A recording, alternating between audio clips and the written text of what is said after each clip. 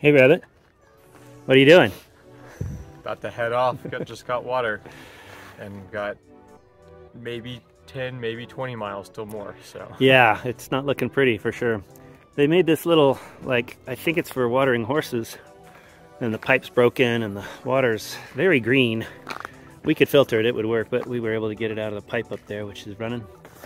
Uh, options are pretty limited today in our hike. We don't have a lot of campsites uh, past mile 11. So we either have to do 11 or we have to do 22.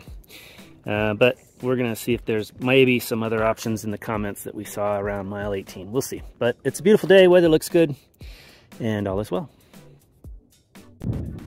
It's a little bit after two o'clock. We just finished lunch. We're back on trail. Gonna plan on doing about another six miles, which is more than we want to, but that's about where the campsites are. And hopefully somewhere between here and then, we find water because I'm almost dead out right now. Uh, I think we got a good chance of finding water. There's enough snow still melting that this should find some creeks or something. Hope, hope, hope. Just came through this uh, blowdown area. I assume these trees had burned and died.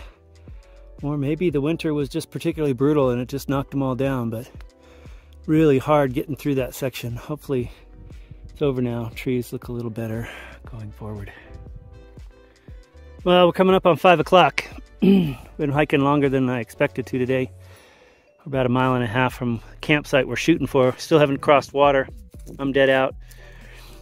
I'm melting snow on the back of my pack. Rabbit's got a couple of liters maybe, liter and a half, which will get us through the night. And then we know that just a few miles further is uh, a water source. So no stress, but be nice and have a comfortable night with enough water would be better, but it's okay. Well, we finally found a campsite. We've done about 18 miles today, which is a few more than we thought, and it took longer because we had all that blowdown area and uh, quite a bit of snow actually, but not too bad. I'm just taking a uh, cursory look at my feet. They're dirty, but they feel okay, and I've got no blisters, so I guess these shoes are working out pretty good. Uh, I'm in a cowboy camp tonight here on this spot. It's a beautiful day. We got good weather.